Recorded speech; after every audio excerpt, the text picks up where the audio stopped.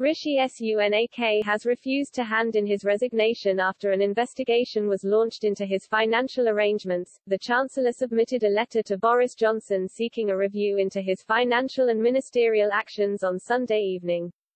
The review looks set to determine if there was any wrongdoing after a hellish week of revelations about the financial situation of Mr. Sunak and his wife Akshata Murty.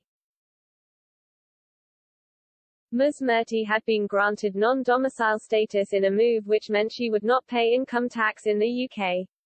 The Chancellor is reported to be a beneficiary for some of her businesses and even held a green card for the United States and made multi-million pound investments while being in number 11. Ms. Murty declared on Friday she would start paying UK tax on her global earnings while retaining non-dom status.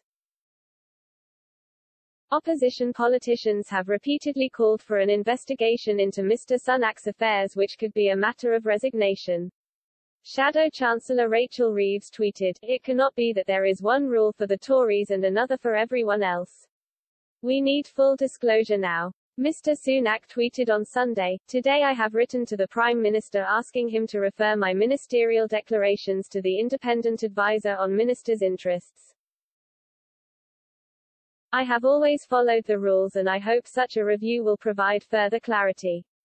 The letter stated, given the recent speculation surrounding my declarations I would like to ask the independent advisor on ministers' interests to review the various declarations of interest that I have made since first being appointed as a minister, and to reach his own judgment as to whether all my interests were properly declared. Quote,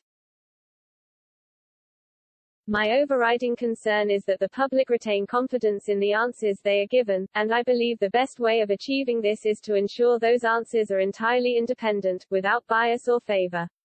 He also noted his confidence that the review will conclude that he had declared all of the relevant information and that he looked forward to supporting the investigation.